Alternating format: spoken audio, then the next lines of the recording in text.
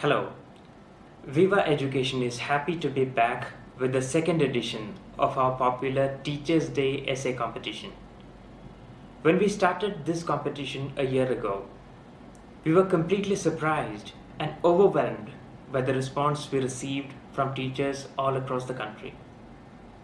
Within a span of about two weeks, more than 700 participants sent in their entries of essays ranging from 700 to 2000 words.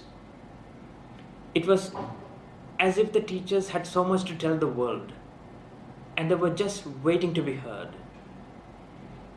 In our country, we have a long tradition of respecting knowledge and honoring those who give us knowledge.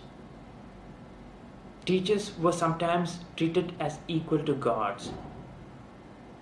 But today, education is highly commercial and the teacher is pushed to the background.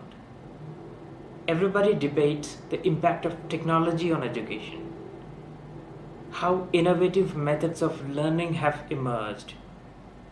But what about the teacher?